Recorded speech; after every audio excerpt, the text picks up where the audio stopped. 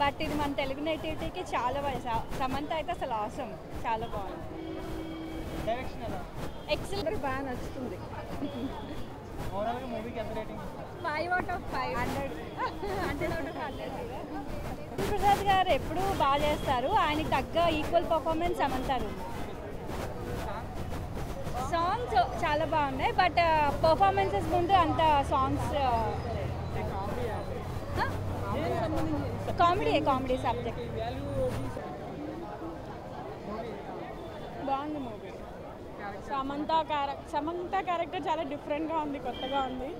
And Samantha కోసం it's worth watching again and again. మూవీలో మూవీలో ట్విస్ట్ ఉంది లాస్ట్లో అది చూస్తేనే అర్థమవుతుంది. యా చెప్పకూడదు. అండ్ అందరూ డెఫినెట్గా వెళ్ళి వాచ్ చేయాల్సిన ఫిలిం. సమంత క్యారెక్టర్ చాలా బాగుంది. And worth of watching. Dialogue లేదు లేదు. సమంతతో అంత ఈజీ కాదు. డన్ థ్యాంక్స్ ఓకే ఓకే ఏంటి ఎలా మీకు ఏం నచ్చింది సినిమాలో? సమంత యాక్టింగ్ చాలా చాలా బాగుంది. అసలు అంటే సమంత చాలా ప్రెట్టి ప్రెట్టిగా అనిపిస్తుంది ఈ సినిమాలో. ముందు సినిమాలకి ఈ సినిమాకి చాలా వేరియేషన్ ఉంది. తన లైఫ్ స్టైల్ కానీ అన్నీ మారినట్టు అనిపించింది. అంటే ఆ హెయిర్ కట్ కానీ తనకు సూట్ అయినాయి చాలా మంచిగా. యాక్టింగ్ కూడా చాలా మంచిగా చేసింది? మెయిన్ స్టోరీ ఏంటి? మెయిన్ స్టోరీ మనకి ఏముందో దాన్ని మనం పట్టించుకోము. మనకు లేని దాని గురించి ఆరాట పడుతుంటాం కదా. సో దేవుడు మనకు లేని దాన్ని ఇచ్చి ఆ లైఫ్లో ఏం కాంప్లికేషన్స్ ఉన్నాయి చూపించి అరే మనకి మనకున్న లైఫే చాలా బాగుంటుందిరా అనిపించేలాగా చేస్తాడు. అది సినిమా స్టోరీ లైన్ అది అంతే.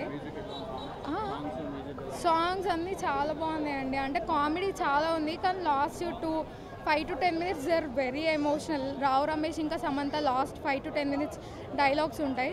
ఆ డైలాగ్స్ చాలా చాలా ఎమోషనల్గా ఉంటాయి. ప్రతి ఒక్కరు ఏడ్ చేస్తారు ఆ డైలాగ్స్కి. సెంట్ అదే రావు రమేష్ ఇంకా సమంత. సమంత ఇస్ మదర్ కదా రావు రమేష్కి. సో చాలా ఎమోషనల్గా ఉంటాయి లాస్ట్లో డైలాగ్స్. వాళ్ళ సమంత వాళ్ళ మనవడికి యాక్సిడెంట్ అయితే బ్లడ్ ఇవ్వడానికి సమంత వెళ్తే. So that is the most emotional part in the movie and Naga Chaitanya నా- Naga Chaitanya is there in the movie so అది నాగ చైతన్య వచ్చినప్పుడు మస్తు విజిల్స్ పడినాయి. మస్తు చాలా చాలా ఎంటర్టైనింగ్ ఉండే. అసలు ఎక్స్పెక్ట్ చేయలేదు ఫస్ట్ నాగ చైతన్య వస్తారని. దట్ వాజ్ ఆసమ్ అంతే movie For more updates, please subscribe 99 TV Telugu.